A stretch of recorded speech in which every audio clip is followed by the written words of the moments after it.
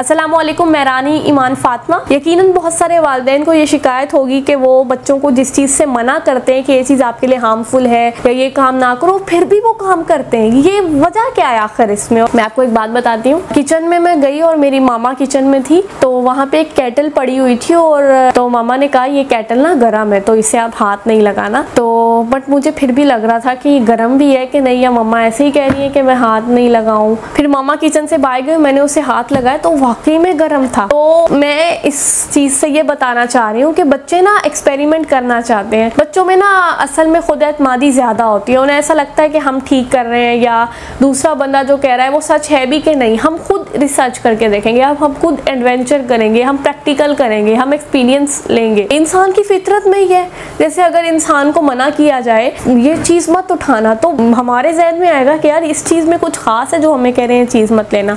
हम वही चीज़ लेंगे। क्योंकि हमारी फितरत में वो चीज़ है। तो बच्चों की भी ये है, ठीक है ना? बच्चों में खुद एतमादी इस लिहाज से कि वो हर काम खुद करना चाहते हैं। जैसे अगर आप उन्हें कहें ना, ये चीज़ मत पकड़ो, ये भारी है, आप पकड़ोगे तो टूट जाएगी। वो कहेंगे, नहीं, हम पकड़ेंगे, हम पकड़ना चाहते हैं। तो इसलिए क्या है कि बच्चों को ना छोटी छोटी बातों पे टोके ना, जो कर रहे हैं, उन्हें करने दें। लेट सपोज़ आपका बच्चा है, किसी ऐसी जगह पे खड़ा है, या कोई ऐसा काम कर उसे चोट लग सकती है। ज़्यादा मतलब कि तेज चोट नहीं लगेगी, उससे ज़्यादा नुकसान नहीं होगा बच्चे का, या किसी चीज़ का तो आप बच्चे को करने दें, उस बात पे नहीं टोकें, ठीक है ना? अगर आप टोकेंगे एक तो उसकी खुद एतमादी में कमी आएगी और दूसरा ये है कि वो बस ये कहेगा, मेरे वालदेन तो मुझे हर चीज़ से मना ही करते रहते हैं, मैं कोई काम कर ही नहीं सकता, अपनी मर्ज़ी से उसके जहन में ये आएगा। तो आप उसे मना ना करें। चोट लगेगी तो ही वो सीखेगा। वो कहते हैं ना, गिर गिर के बड़ा होता है बच्चा। लेकिन जब तक हमारी लाइफ में कोई चैलेंजेस नहीं आते, कोई प्रॉब्लम्स नहीं आती, हम सीखते नहीं है कि किस टाइप से आगे बढ़ना है या किस टाइप से प्रॉब्लम्स को फेस करना है। तो बच्चों की भी लाइफ एग्जैक्ट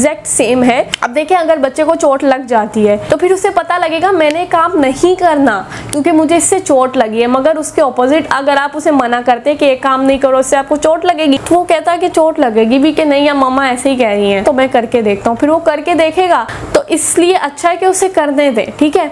और फिर इस तरह से वो बड़े नुकसान से बच जाएगा। जब ज़्यादा कहीं चोट लगनी हो, या ज़्यादा कोई मसला हो, नुकसान हो तो फिर वो उससे बचेगा।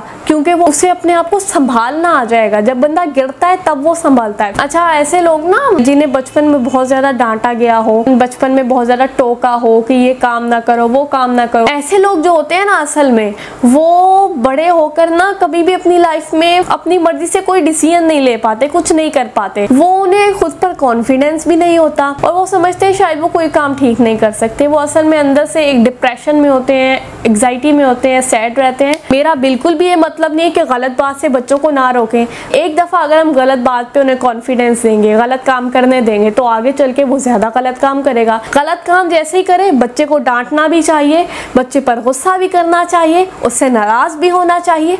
मगर छोटी छोटी जो चीज़ें हैं, उन पर टोकना ठीक नहीं है, ठीक है? मुझे उम्मीद है आप समझ गए हैं कि मैं क्या कहना चाहती हूँ। ऐसा ना हो, बहुत सारे वालदेन को देखा है मैंने। उन्हें पता ही नहीं होता हमारे बच्चे किधर हैं। उनके बच्चे घर से बाहर फिर रहे होते हैं, कहाँ होते हैं, कहाँ नहीं होते, उन्हें कोई होश ही नहीं होता। ऐसा नहीं होना चाहिए। आपने बच्चों पे नज़र रखनी, कड़ी नज़र रखनी है। वालदेन को ये दो चीज़ें तो पता ही होनी चाहिए। बच्चे कहाँ हैं और क्या कर रहे हैं या किसके साथ है? अल्लाह हम सबको हमेशा शुक्र अदा करने की तोफीक अदा करे और हम सबका खात्मा ईमान पर फरमाए। आमीन।